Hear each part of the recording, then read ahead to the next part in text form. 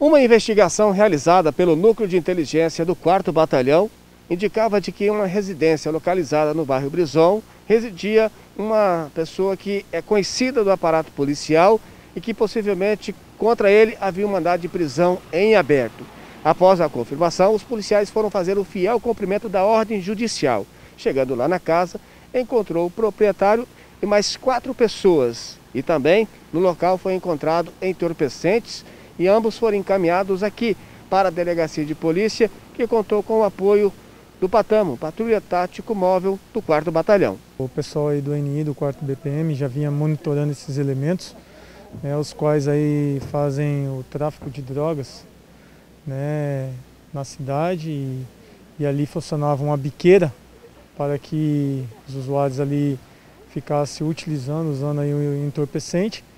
E aí agora o NI veio e deflagrou essa operação aí, prendendo os mesmos com a quantidade de droga que foi achada no local.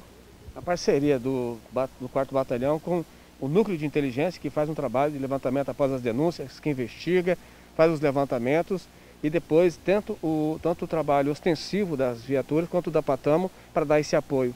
Sim, sim, é, eles fazem o levantamento, eles têm essa, essa condição, a disponibilidade e, e o emprego né, na causa, eles, eles fazem isso aí com esmero.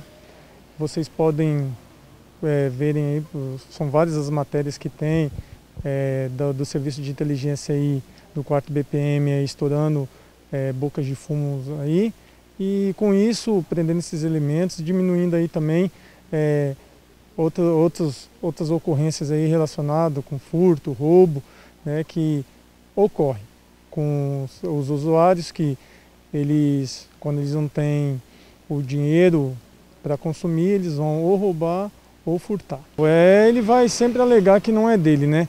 Mas cabe a ele aí provar na justiça que a droga não é dele, já que foi encontrada na residência onde ele reside. Com certeza aí, dependendo aí do delegado, é, colocar mais é, esse artigo aí, né?